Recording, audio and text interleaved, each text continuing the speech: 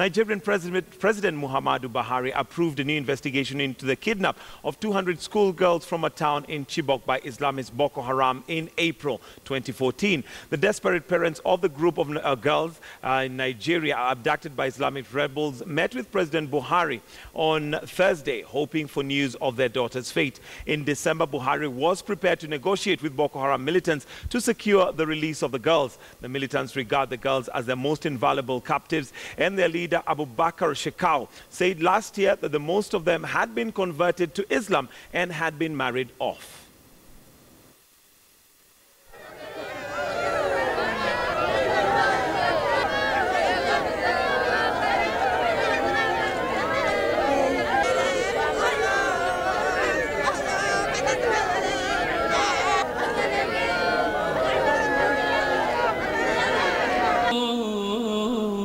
طال ليل الآنين دمع دمعكم في العيون طال ليل I was expecting that uh, he will say something of which will make me to be doubting.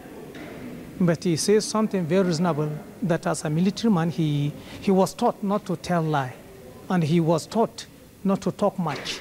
I really picked something there.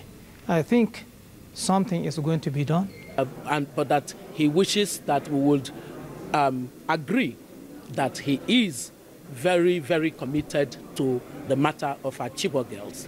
He used the specific phrase that he sleeps and wakes up thinking about the rescue of our Chibok girls. Where do we go from here? Where we go from here is to continue to demand.